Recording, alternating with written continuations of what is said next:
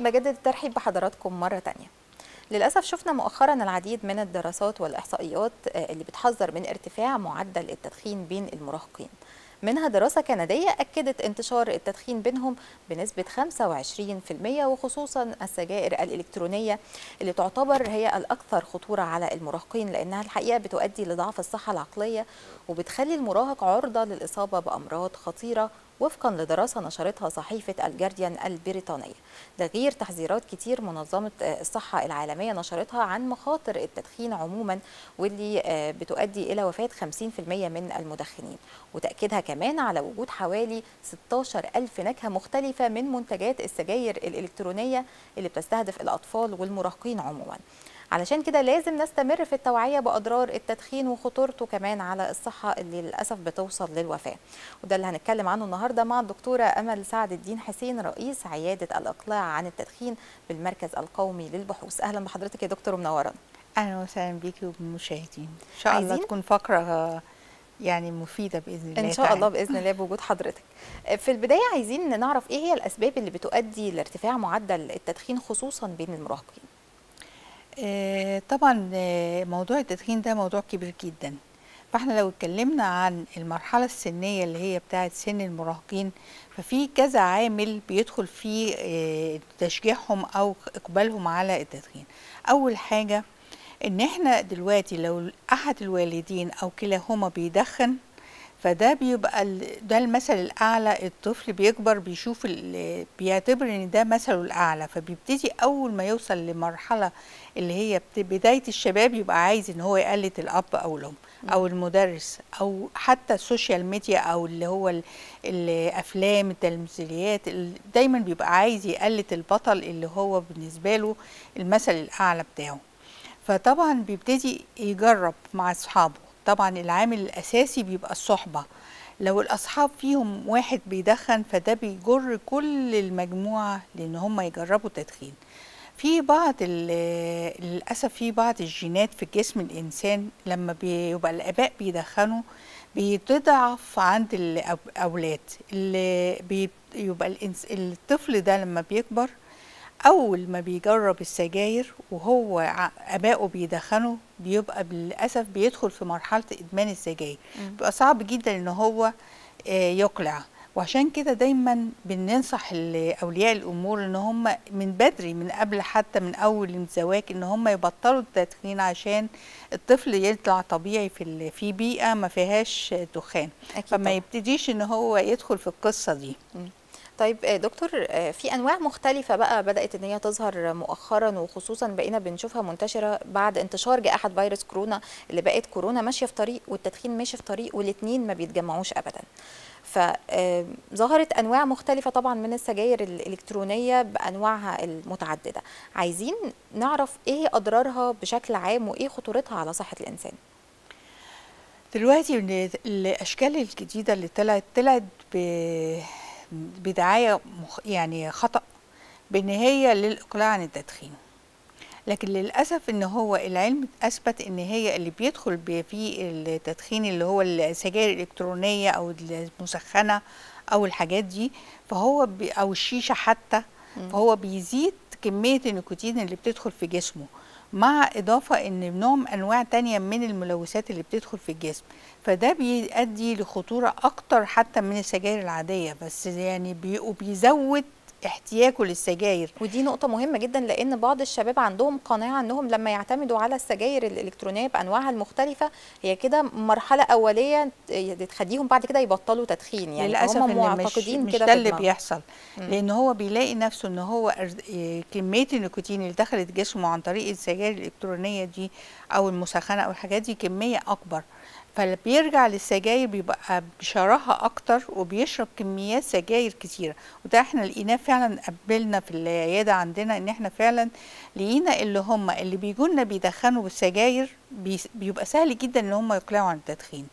اللي بيدخل في مرحلة السجاير الإلكترونية أو المسخنة بيلاقي إن هو بي بيرجع لنا بعد ما يرجع للسجاير بكميات أكتر من الطبيعي اللي كان بيشربه قبل كده. فده الموضوع طبعا لأ يعني. فعلا خطير. طيب آه، عايزين برضو نتكلم في نقطة مهمة. مجال عمل حضرتك آه، خاص بأن التلوث البيئي مع التدخين بيأثروا بشكل كبير جدا على صحة الإنسان. عايزين برضو نتكلم عن الموضوع ده. دلوقتي أنا في آه، طبيعة شغلي في قسم الطب البيئي والمهني إن أنا بشوف التأثيرات الملوثات البيئية على صحة الإنسان سواء كان في العمل عمال.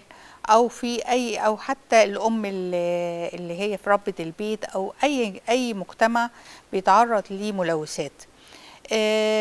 عملنا أبحاث كثيره جدا عن الملوثات باختلاف أنواعها وتأثيراتها على الصحة. لقينا دايما عامل السجاير أو التدخين عموما هو عامل خطورة مضاعفة. بحيث إن هو ممكن قوي مجموعة من العمال بيتعرضوا لنفس الملوث بنفس الجرعات بنفس الأوقات آه، دايما نلاقي اللي هو بيدخن فيهم بيبقى حالته الصحية أسوأ بمراحل عن المجموعة التانية. وممكن يظهر فيه سرطانات أسرع من ظهورها في أي تعرضات بيئية تانية.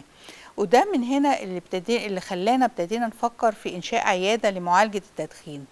في ال- العيادة بتاعتنا أنشئت آه، من 2012 ببروتوكول تعاون ما بين المركز القومي للبحوث ومنظمة الصحة العالمية ووزارة الصحة. جميل جدا. وعملنا بال...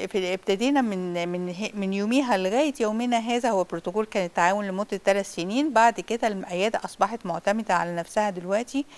ومن هنا ابتدينا نعمل برضو أبحاث كتيرة عشان نوجد أفضل علاج للمدخنين وابتدينا نطور من العيادة بحيث إن إحنا دخلنا الليزر دخلنا العلاج الدوائي دخلنا كلها طبعا الاستاف اللي بيشتغل في العيادة متدرب يعني واخد كورسات واخد تدريبات عالية جدا في منها في مصر وفي منها بره مصر بحيث إن مؤهل إحنا يعني إنه يقدم العلاج المناسب للمدخنين بالظبط كده. فبيتم اللي هو المدخن لما بيجي لنا العيادة. بنبتدي نفحصه ونشوف اللي هو مدى اعتماده على النيكوتين الخارجي. في بعض الحالات بنلاقيها يعني الاعتماد بسيط وده ممكن عن طريق الدعم النفسي. مع تغيير ال- ال- اللي هي الهابتس أو اللي هو ال- العادات ال- العادات اللي اليومية بتاعته عليها. آه. بي- بيوصل للإقلاع عن التدخين طبعا بس لازم يكون هو عنده قناعة إن هو عايز يقلع عن التدخين لأن هي ده العامل الأساسي اللي إحنا كل العيادة شغالة عليه مم. ال- في بعضهم بيبقى لأ محتاجين حاجة تانية مع الدعم النفسي وال وال والتغيير السلوكي ده بإن إحنا بنستخدم معاه الليزر الليزر بيشتغل على نقط معينة زي بالظبط وظيفة الإبر السينية مم. فبالتالي بندخله في مرحلة إن هو يبتدي تدريجيا يقلع عن التدخين. في منهم بقى المرحلة الأخيرة اللي هي أو اللي هم بيبقى دخلوا فعلا اعتماد كامل على السجاير أو على النيكوتين الخارجي. فدول بقى بنضطر إن إحنا ندخل بالأدوية. ده للأسف إن هو بيبقى مكلف جدا بالنسبة للمدخن. غير كده إن هو بياخد وقت طويل شوية معانا عمال ما بيوصل للإقلاع عن التدخين. بس عموما الوقت اللي بيستغرقه الشخص المدخن في الإقلاع عن التدخين ممكن يتراوح لمدة قد إيه مثلا؟ بيعتمد زي حسب الحالة زي ما أنا قلت. يعني. في حالات بتبقى من من أول زيارة تاني زيارة بنبقى خلاص وصلنا ل zero سجاير وبيبقى فعلا مطمنين إن هو مش هيرجع. مم. بنعمل دايما meeting بعد ست شهور نطمن إن هو ما رجعش وبيبقى في معانا contact معاه باستمرار آه، بحيث إن إحنا بنستقبله في العيادة لو في أي حاجة هتخليه يرجع تاني. في منهم لا بيحتاج معانا وقت أكتر. يعني مثلا المجموعة اللي بدخل الليزر لا بتاخد مثلا بياخد من ثلاث لست جلسات ليزر.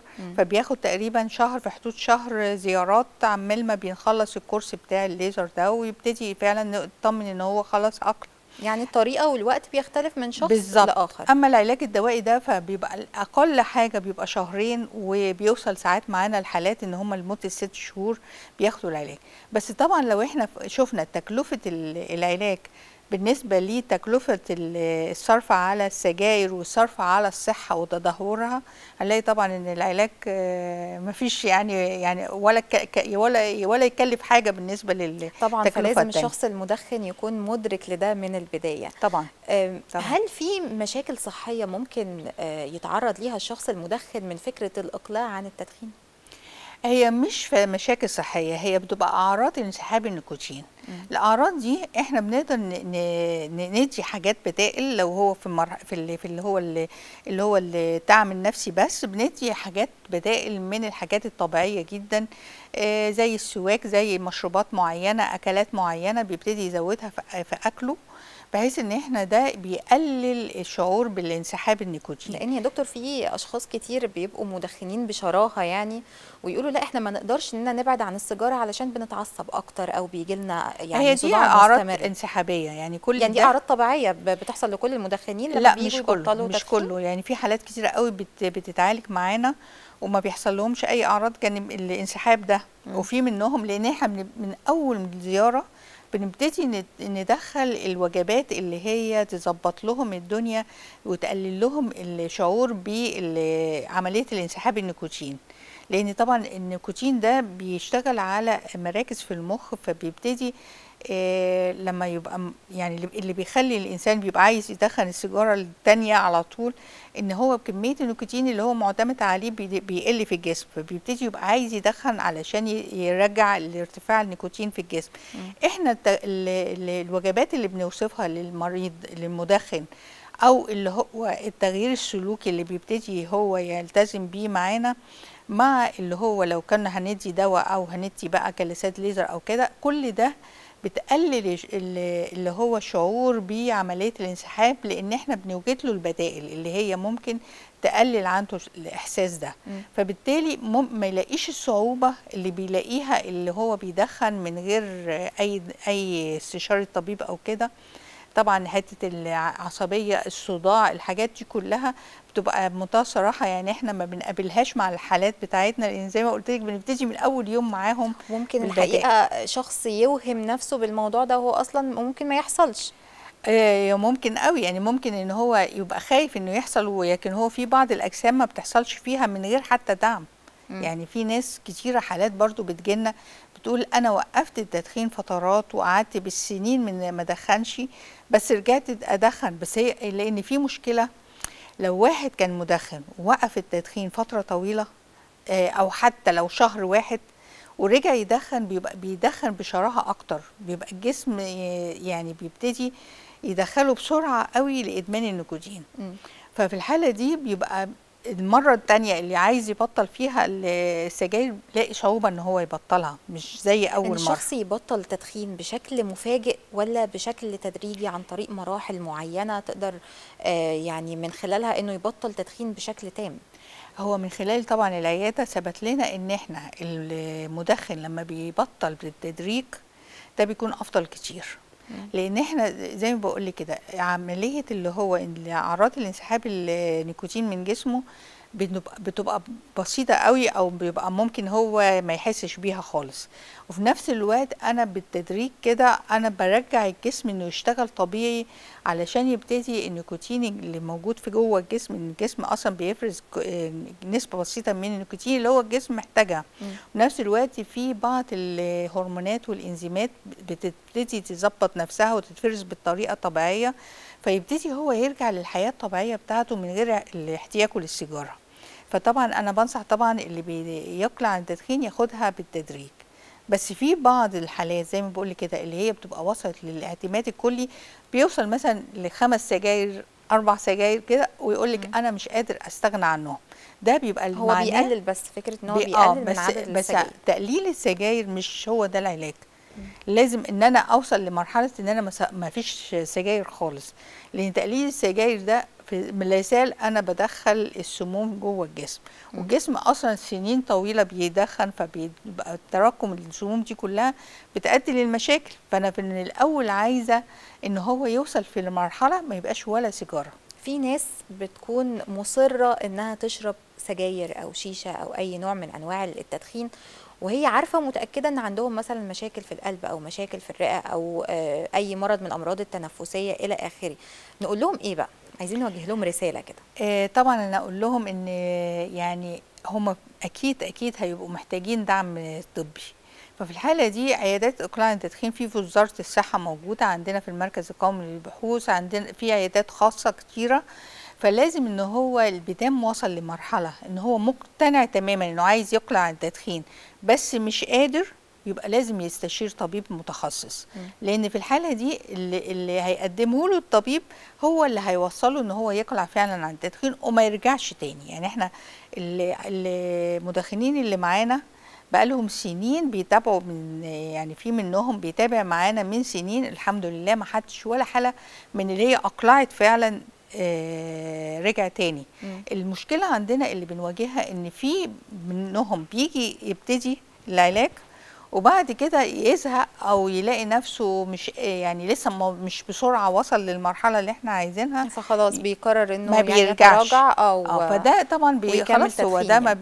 بي بيبقى فق- فقدناه يعني ما بي- بيبقى هو صعب. نفسه بيكون فاقد الأمل يا دكتور والله ف ما هو بيرجع تاني لمرحلة التدخين اللي هي أصلا تعتبر من العادات السيئة يعني. بتم اخذ القرار مم. لازم يصر على إنه ينفذه فهو حاول مع نفسه وما قدرش خلاص يلجأ للطبيب الطبيب هو هيساعده إن هو يوصل فعلا يحقق كده. طب لو هو ما خدش القرار يعني هل بيحصل كده حالة من الإقناع إن هو لأ أنت هتتعرض لأضرار صحية كتير جدا فلازم توقف تدخين علشانك وعلشان كل الناس اللي حواليك يعني؟ هو أقول لك إيه بس للأسف للأسف إن علب السجاير كلها عليها رسومات يعني تخوف جدا. صحيح. ومع كده كل الناس دلوقتي أغلب الناس لا إما يقلب لك العلبة لا إما يحطها في جراب بشكله شيك لذيذ كده لا إما يغير الشكل ال ال ال يعني المهم إن هو مش عايز يبص فيها. هو ما بيشوفش هو- أصلا الصورة الخارجية دي هو يا دوب بيشرب وبس. بس بالظبط كده لأن هو يعني مش عايز من جواه يحس بالخوف من اللي هو بيعمله. آه، ده بيبقى مهما قلتي ومهما اتكلمتي معاه بيبقى صعب جدا إقناعه إلا لو حصل قدامه موقف معين هو اللي هيخليه يجي ويقول يسلم إن هو لازم يقنع. عايزة أوقف بقى. بالظبط. آه، أنا يعني في حالة جات اتفضلي. لنا. كان رجل عنده 72 سنة. الراجل ده الحقيقة يعني أنا فعلا سعيدة جي- كنت سعيدة جدا بيه. آه، قعد سنين عمره كله يدخن ومش عايز يقلع عن التدخين غير لما شاف حفيده هو شرب السيجارة وطفاها في الطفاية وخرج رجع لقي حفيده ماسك السيجارة وبيحطها في بقه. وحفيده الطفل صغير. هنا أخذ القرار إنه لازم يقلع عن التدخين حاول مع نفسه ما قدرش جالنا العياده وكان من الحالات الناجحة جدا اللي وصلنا بيها للاقلاع عن التدخين هو جداً. يعني زي ما 72 حضرتك سنه قلتي يعني آه. زي ما حضرتك قلتي لازم حاجة تحصل قوية في يعني. بعض الحالات للأسف كده ما بيحصلش ما بياخدوش القرار إن هم يقلعوا إلا لما يحصل حاجة قدامهم جامدة. الحقيقة يا دكتور يعني كان في محاور عديدة كنا محتاجين نتكلم عنها النهارده لأن يعني موضوع كبير جدا وخصوصا لما بينتشر بين المراهقين إن دي رسالة قوية عايزين نوجهها لكل الناس إن مش أي موضة جديدة آه، نجري وراها. خصوصا الموضوع بقى شكله لل- غير لطيف بالنسبة لل- للمراهقين. يعني آه. فلازم يا جماعة المراهقين وأنا هنا كلامي عن البنات والولاد. خلوا طبعاً، بالكم طبعاً. آه، من صحتكم وخلوا بالكم من نفسكم الآباء والأمهات.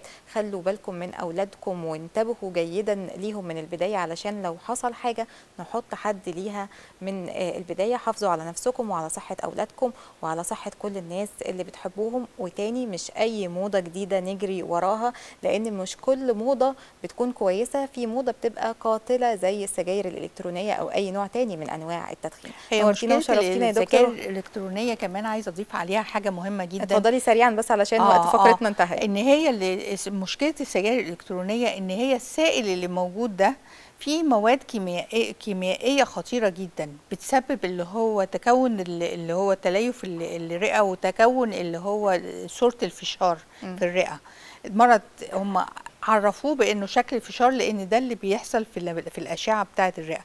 ده ما كانش موجود من السجاير العادية يعني كان في حاجات تانية سرطانات وحاجات تانية. فاحنا كده بندخل من من مشكلة صحية لمشكلة صحية تانية. صحيح بسبب الإضافات اللي هي اللي موجودة في يعني الحاجات دي والطعم والريحة. والحاجات دي كلها. أكيد وفي أطعمة كتير جدا فلازم ناخد بالنا كويس. الدكتورة أمل سعد الدين حسين رئيس عيادة الإقلاع عن التدخين بالمركز القومي للبحوث نورتينا وشرفتينا وربنا كده يسلم الجميع وأتمنى إن كل الآباء والامهات اللي بيتفرجوا علينا النهارده يكونوا سمعوا كلام حضرتك كويس ويحطوا حد الموضوع قبل ما يبدأ إن شاء الله. نورتينا وشرفتينا يا دكتور. ميرسي جدا ويا رب إن شاء الله كل الناس فعلا تأخد القرار وإحنا تحت أمرهم في أي حاجة. إن شاء الله بإذن الله.